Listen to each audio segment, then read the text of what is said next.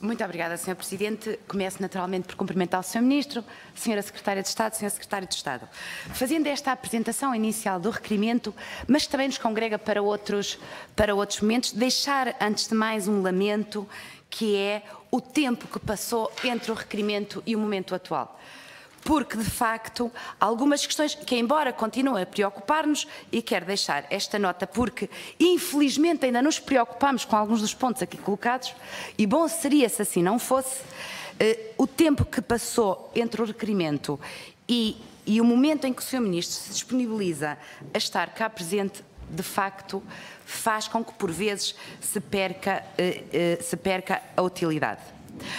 O PSD apresentou este requerimento, Sr. Ministro, devido a, a, várias situações que, aliás, constam basicamente do requerimento e que têm a ver, desde logo, com os meios aéreos. O Sr. Ministro eh, anunciou por diversas vezes eh, nesta, hum, no, no Parlamento, quer quer no plenário, quer em audições e publicamente, que este ano seria o ano com mais meios aéreos de sempre.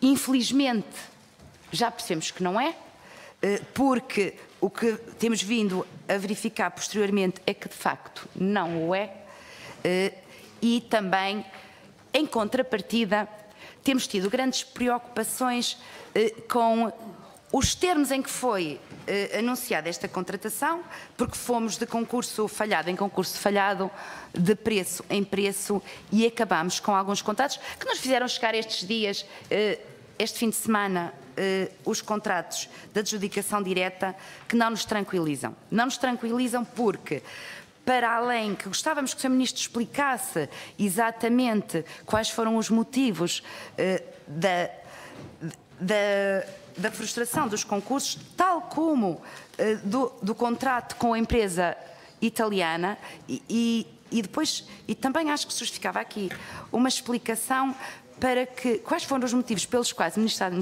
da Administração Interna acaba por negociar com as empresas portuguesas, por ajuste direto, que acusou de cartelização, eh, precisamente, eh, e tendo sido estas inicialmente recusadas com base neste argumento de cartelização de preços, e portanto, Sr. Ministro, é o que consta que foi declarado várias vezes, e portanto gostávamos de saber também, também eh, qual o ponto de situação quanto aos meios que estão efetivamente já, já, já contratados.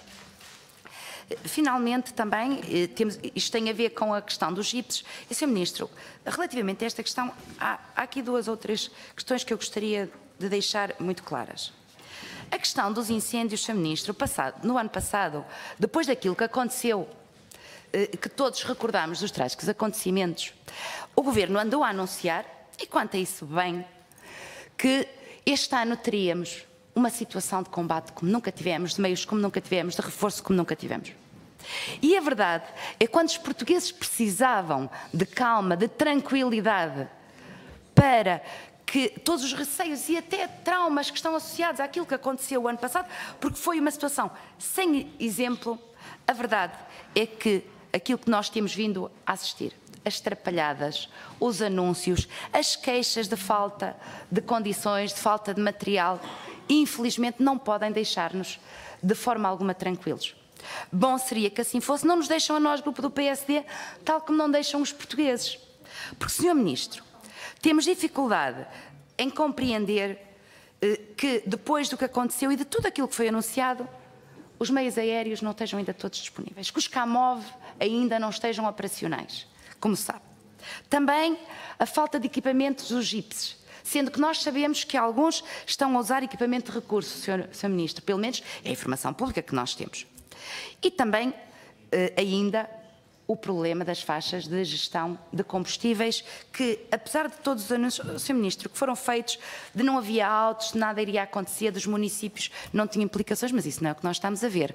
Já foram anunciados pelo Sr. Secretário de Estado pelo menos 2.500 autos contra a ordenação, esta é a realidade, e como jurista, o argumento de levantam saltos para não fazer nada isso não existe. Os autos levantam-se para que sigam o seu procedimento normal, ou então não existem autos. E a verdade é que nós estamos, mais uma vez, a sobrecarregar aquelas que são as populações com menos possibilidades, eh, mais fracas, mais débeis, com outro encargo, tal como, e é importante que isto fique bem claro, os municípios que mais se queixam, que são aqueles das zonas particularmente vulneráveis, e sabe isso muito bem, porque conhece essa realidade do país, são precisamente aqueles que mais deprimidos são, mais débeis são, menos possibilidades são e podem ter com isto consequências eh, muito complicadas até para os seus orçamentos, porque em última instância, como sabe, podem vir a ser afetados por isso.